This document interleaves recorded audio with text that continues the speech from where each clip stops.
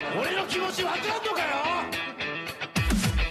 父の会社がある日インセット両親別れそこはニューワール母ちゃん妹俺厨房わずかな希望ハッピーチャラ貧乏働き詰めの母は限界。野球漬けの青春崩壊。中学卒業全て諦め。捨てた進学という当たり前。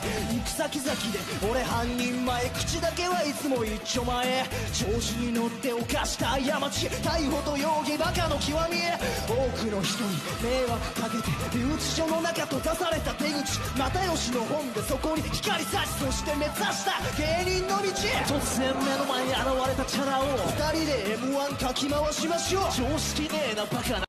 が消え思い出作りと手をたっぷりチャラさとチャラさの化学反応。手に入れたんだ客の反応。スポットライトが照らした出口そこ